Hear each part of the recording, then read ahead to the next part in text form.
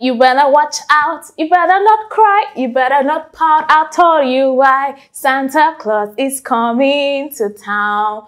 Oh, you're wondering why I'm excited. It's Christmas season and I'm so grateful to God. My name is Anuoluwapo Akomolafe. I am a client experience for Comercio Partners. Okay, so one thing I'm grateful for in 2023, I'm grateful for people. one thing in this life is that uh, whenever you're going through situations and life situations, you need people around you. Shege go happen and you will see and you know you need people around you at this particular time. And you know, looking back, I am so grateful to God because a lot of things have happened in 2023 and I had people, had people, and so good, and I'm so very grateful.